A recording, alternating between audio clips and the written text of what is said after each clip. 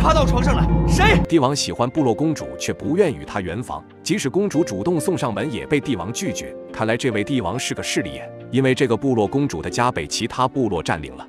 这位帝王就是大名鼎鼎的康熙皇帝。他曾经两次主动拒绝卡尔喀布大汗女儿的求爱，事不过三，两人最后还是发生了关系。但可惜的是，两人并没有一直相守下去。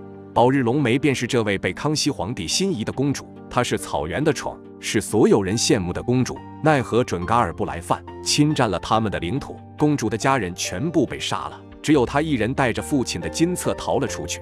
这个金册上写着，要想为民族报仇，必须要去请求大清康熙皇帝的帮助。他的父亲嘱咐他，一定要献身给康熙，只有这样，他才愿意出兵援助。宝日龙梅便启程来到了京城。他首先和康熙的大儿子相遇。这位大哥觉得草原来的公主非常放荡不羁，性格也很豪放，便开始倾心于她。于是他三番五次向宝日龙梅表白，但是宝日龙梅深知自己来京城的任务，便拒绝了王子的表白。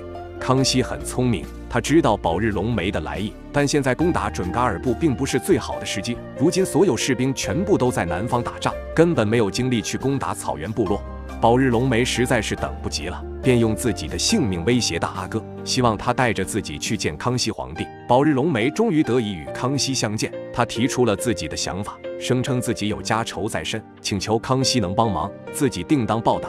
康熙问他为什么现在才将这个消息告诉自己，但其实康熙早就知道了宝日龙梅此行的目的，之所以这么问，是不想让自己理亏。等明天你酒醒后，依然想这样。朕他赢得草原部落民族的心。康熙两句宝日龙梅现身，第三次两人却在草原云雨。如果宝日龙梅跟自己去打仗了，草原其他部落会怀疑自己的目的的。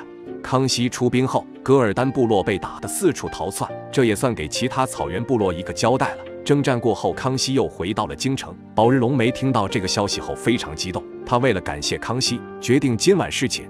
果然，康熙在妃子牌子里选择了宝日龙梅这个公主，果然主动。但是，虽然她愿意和康熙发生关系，康熙却拒绝了。一方面是因为自己确实没有完全清楚噶尔丹势力，以后完全剿灭了再在一起也来得及；另一方面是自己毕竟是皇帝，如果趁着宝日龙梅现在正需要他就和他发生关系，会被天下人耻笑的。康熙便让宝日龙梅离开了自己的房间。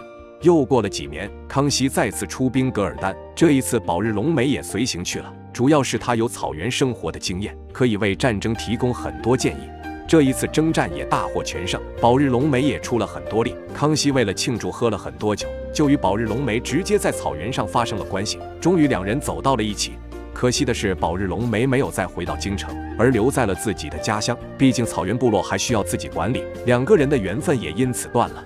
其实宝日龙梅很聪明，怀了康熙的骨肉，卡尔喀布大草原部落就不会被其他部落侵犯了。虽然宝日龙梅奉献了自己，但是却换来了一个部落的平安，这一点都不亏呀。可惜了大阿哥的一片真心，自己早已经表白了很多次，没想到宝日龙梅却和父亲在一块了，这放到谁身上也受不了啊。